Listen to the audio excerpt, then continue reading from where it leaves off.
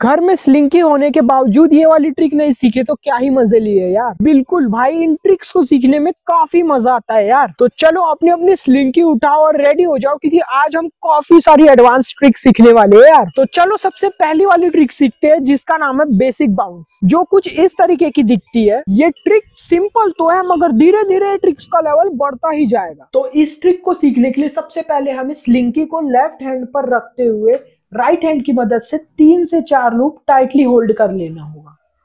इसके बाद हमें स्लिंकी को राइट हैंड की मदद से सामने की तरफ़ थ्रो कर देना होगा कुछ इस तरीके से। अब इतना करने के बाद हमें स्लिंकी को फिर से राइट हैंड की मदद से ही बाउंस बैक कराना होता है। अब राइट हैंड की मदद से हमें स्लिंकी को वापस बाउंस बैक कराने के लिए हमें कुछ इस तरीके से मोशन करना होगा।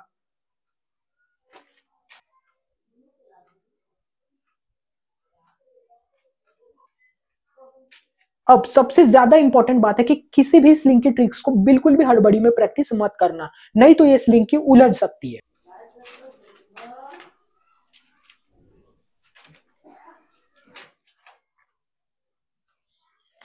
सबसे पहले तो आपको इसको स्टेप बाय स्टेप रुकते हुए प्रैक्टिस करना होगा। प्रैक्टिस करते समय आपको काफ़ी सारी दिक्कतें आ सकती है प्रॉब्लम्स आ सकती है। जैसे वापस लेते समय स्लिंग की प्रॉपरली हाथ पर लैंड नहीं होता।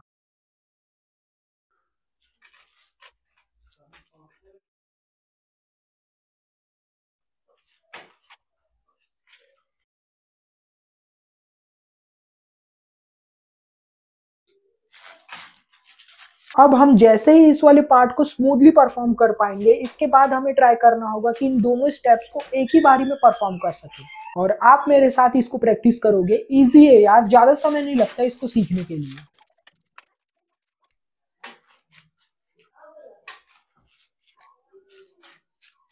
एक्चुअली में यार, इस ट्रिक को सीखना काफ़ी ज़्यादा इजी था। सिर्फ़ 15-20 मिनट की प्रैक्टिस से ही मैं इस वाली ट्रिक को सीख गया।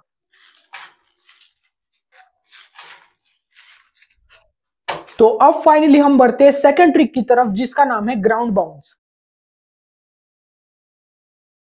है ना कूल ट्रिक तो चलो इसकी प्रैक्टिस शुरू करते हैं. बेसिकली इस ट्रिक में स्लिंकी कुछ ज़्यादा ही स्ट्रेच हो जाती है, जिसकी वजह से हमें स्लिंकी को कंट्रोल करने में काफ़ी ज़्यादा प्रॉब्लम आती है. और कोई बात नहीं यार प्रैक्टिस से सब ठीक हो जाता है। तो इस ट्रिक की स्टार्टिंग पोजीशन सेम पिछली वाली ट्रिक के जैसी रहेगी। हमें लेफ़्ट हैंड पर स्लिंकी रखते हुए राइट हैंड की मदद से कुछ कॉइल्स को टाइटली पकड़ना होगा। बट इस वाली ट्रिक में हम स्लिंकी को किसी टेबल पर बाउंस बैक नहीं कराने वाले। इस बार हम स्लिंकी को डायरेक्ट ग्राउंड पर बाउंस बैक कराने वाले हैं।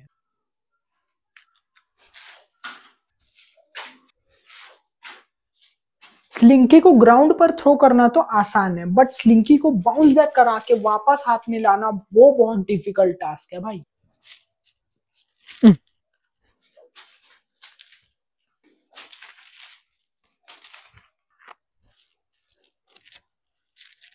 पर मैं भाई इस चीज़ के एक घंटे से भी ज़्यादा प्रैक्टिस किया, तब जाकर मुझे बाउंस बैक कराना थोड़ा मोड़ा आया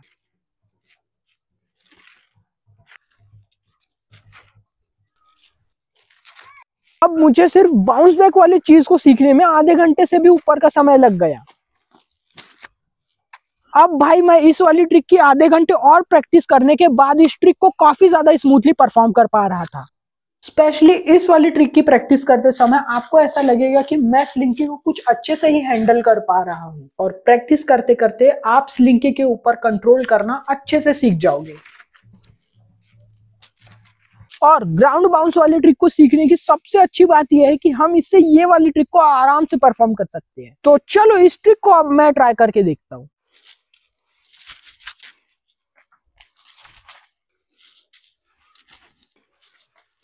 ओह।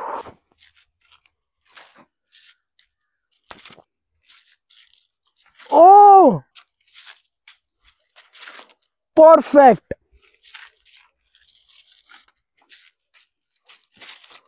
perfect. हाँ यार, ये पैर वाली ट्रिक तो एक्चुअली में वर्क करती है। फाइनली भाई, ये वाली ट्रिक हो चुकी है कंप्लीट तो अब हम बढ़ते हैं थर्ड ट्रिक की तरफ़, जिसका नाम है स्पाइडरमैन बाउंस और ये वाली ट्रिक कुछ इस तरीके की दिखती है। तो बेसिकली इस ट्रिक में हमें स्लिंकी को किसी दूर रखे हुए सरफेस या फिर चीज़ पर बाउंस बैक कराना होता है, जिसमें हमें टाइमिंग और कोऑर्डिनेशन पर काफ़ी ध्यान देना पड़ता है। और अगर हम इस वाली ट्रिक को सीख गए तो हम इस तरीके की कूल कूल चीज़ों को परफॉर्म कर सकते हैं। इस ट्रिक के लिए भी हमें स्टार्टिंग पोजिशन सेम पिछले वाले ट्रिक्स के जैसी रखनी होगी, पर इस बार हमें स्लिंकी को किसी ग्राउंड पर या पास रखे हुए टेबल पर बाउंस बैक नहीं कराएँगे। हमें स्लिंकी को कुछ इतने दूरी की सरफेस पर बाउंस बैक कराना होगा। तो चलो इसकी प्रैक्टिस शुरू करते हैं, मुझे ऐसा लगता है कि आपको इसकी प्रैक्टिस करने में काफ़ी दिक्कत नहीं आनी चाहिए। तो सबसे पहले हम सरफेस के काफ़ी क्लोज आकर प्रैक्टिस करेंगे, फिर हमें धीरे धीरे डिस्टेंस बढ़ाते हुए प्रैक्टिस करते जाना होगा। अब हम थोड़ी सी दूरी बढ़ाते हैं।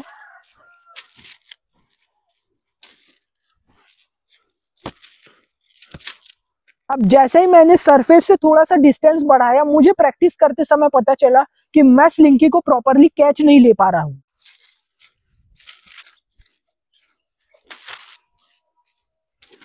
अब हम सरफेस से थोड़ी और डिस्टेंस बढ़ाकर प्रैक्टिस करेंगे।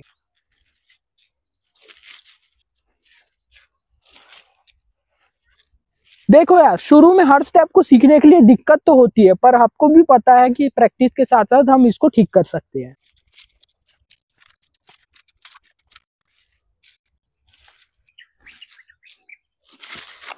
परफेक्ट। अब हम थोड़े से ऊँचे लेवल पर दूर रहकर प्रैक्टिस करके देखते हैं। पता नहीं यार, हर नए स्टेप को सीखने में हमेशा दिक्कतें क्यों आती है?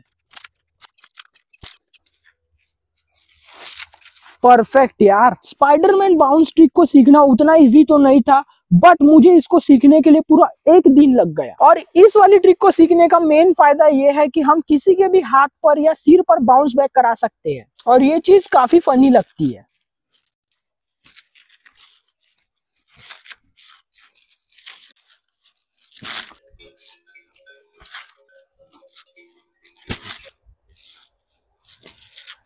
परफेक्ट तो भाई हमने अभी तक तीन लेवल की बाउंस वाली ट्रिक सीख ली है।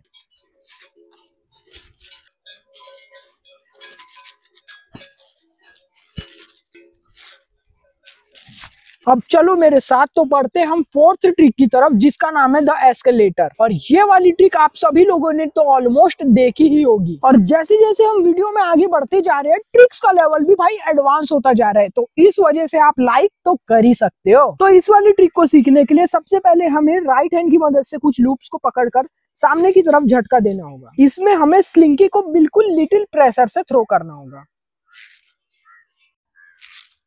तो अब इस ट्रिक में स्लिंकी को थ्रो करने का मोशन कुछ ऐसा होगा।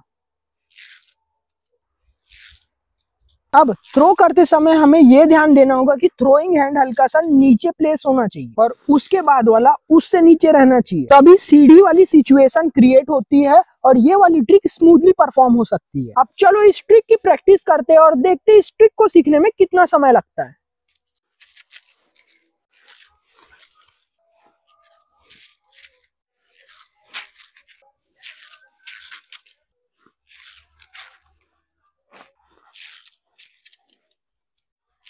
इस ट्रिक का चैलेंजिंग पार्ट ये है कि एस्केलेटर का नेक्स्ट स्टेप अपना हाथी होता है। जिसके लिए हमें अपनी स्पीड को बढ़ाते हुए प्रैक्टिस करना होगा, ताकि ये वाली ट्रिक वर्क कर सके। ये ट्रिक नेवर एंडिंग है। इसका मतलब जब तक इस ट्रिक को परफॉर्म करते रहोगे, तब तक ये ट्रिक चलती रहेगी। प्रैक्टिस करते समय मुझे ये पता चला कि हम जितना ज़्यादा स्लो प्रैक्टिस करेंगे, उतना अच्छा है। क्योंकि हमें इसका अंदाज़ा हो जाता है कि अगला स्टेप किस पॉइंट पर रखना होगा। और इस तरीके से प्रैक्टिस करने में भाई मुझे काफ़ी जल्दी इंप्रूवमेंट नज़र आई।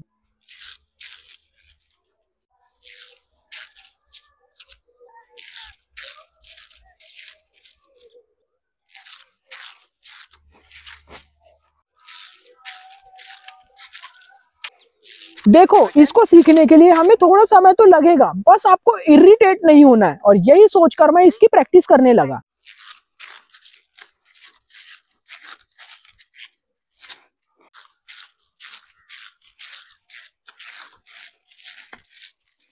और फिर हम जैसे जैसे इसमें अच्छे होते जाएँगे, हमें इसको परफेक्ट बनाने की कोशिश करते जाना होगा।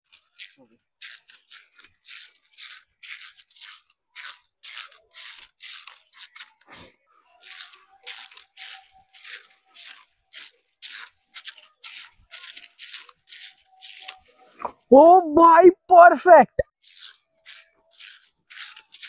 फाइनली भाई, मैंने इस वाली ट्रिक को भी काफ़ी अच्छे से सीख लिया। ओ भाई परफेक्ट यार। तो हमने अभी तक चार स्लिंग की स्प्रिंग की ट्रिक सीख ली और इसके बाद नेक्स्ट पार्ट में चार और स्लिंग की ट्रिक्स आने वाली है, जो कि काफ़ी धमाकेदार होने वाली है। आई होप आपको इन चारों ट्रिक्स को सीखने में काफ़ी मज़ा आया होगा। मुझे तो बहुत आया यार। अभी तक तो आपने लाइक कर ही दिया होगा, बस सब्सक्राइब करना भूल गए। पता है ना कूल कूल ट्रिक्स सीखने को मिलती है। Okay bye